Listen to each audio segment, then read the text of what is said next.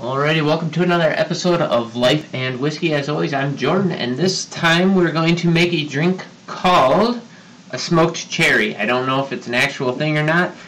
I kind of just thought things through and came up with a recipe. Never tried it before, have no idea if it's going to be good or not.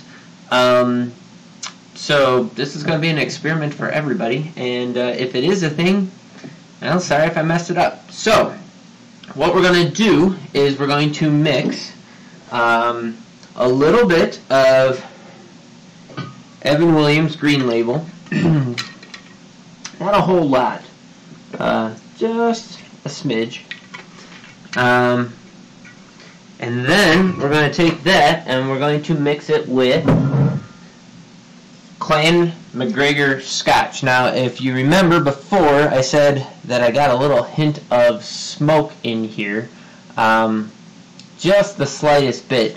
Uh, if this wasn't a budget drink, I'd say use an Islay Scotch, something that's peated.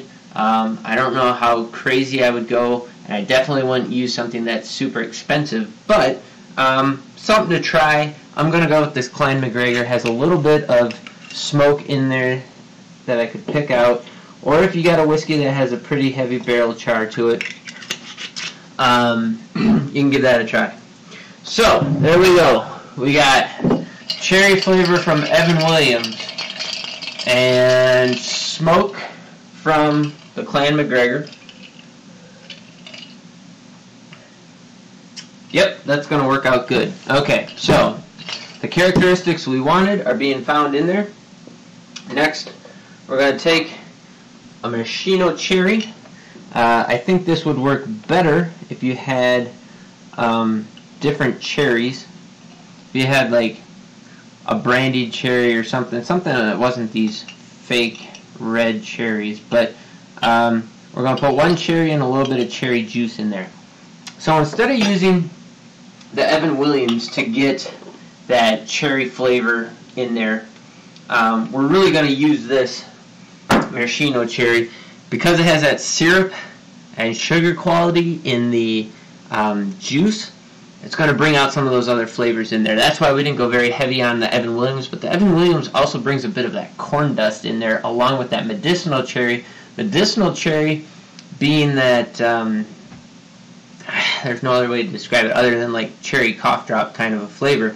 Uh, it, it's not. It's a different type of cherry, and so that's going to blend together with the maraschino cherry, in theory. Again, I haven't actually tried this one, so we'll see how this works out.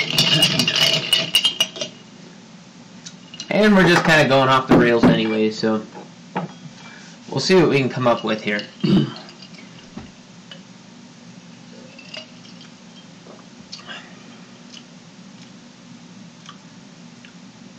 It's actually not bad, but I think it needs a little more sweet. Um, looking at my notes here, Yeah.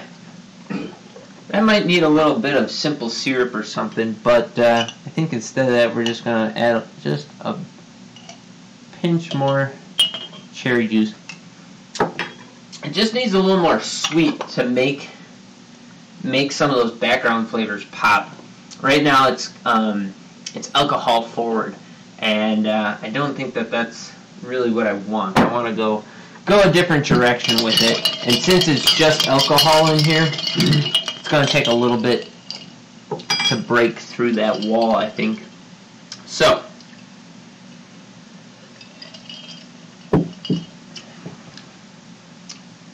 boom. We hit it out of the park on that one. There we go. So, you know, maybe like two and a half, probably two full tablespoons full of maraschino cherry juice, one cherry, um, and we're going to say it was probably, again, 3 to 1. So like one part uh, Evan Williams Green Label to three parts Clan MacGregor Scotch. Put it all together, mix it up, and you'll find that you got something that has a hint of sweet, but it's not overpowering in the sweet category. The Scotch comes through, the maltiness comes through, has uh, an ethanol bite in the middle of it.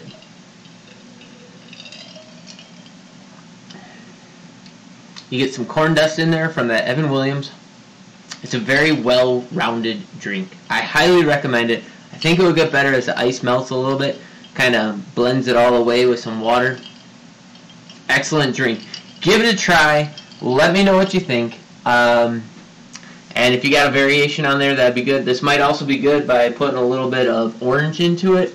Um, and then you kind of lean towards an old-fashioned slightly, uh, but definitely different. Um, but all those drinks kind of all have similar profiles, and I guess this would be kind of similar to that. So uh, give it a try, and uh, yeah, that's all I got to say about this one. Something simple, quick, easy, and uh, easy drinking. So hope you enjoy it. Please like and subscribe. Hit the notification bell.